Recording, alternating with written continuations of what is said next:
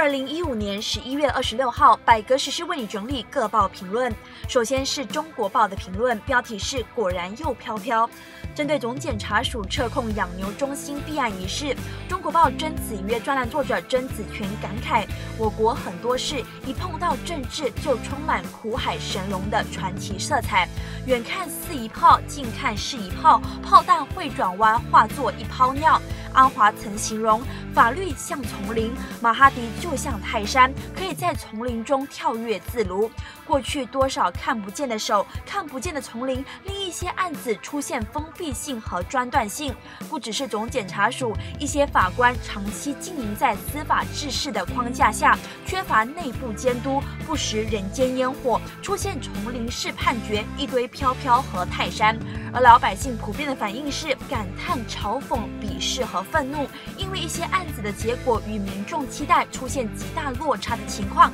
已不足为奇。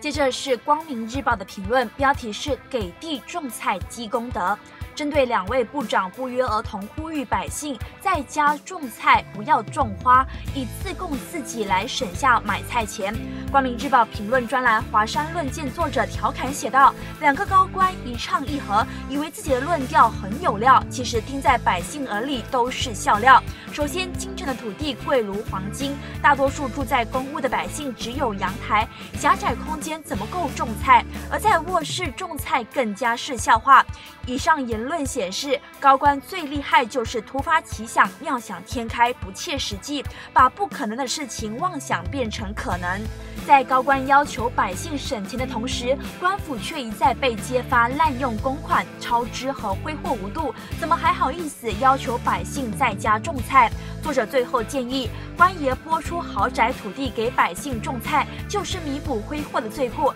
也算是累积功德。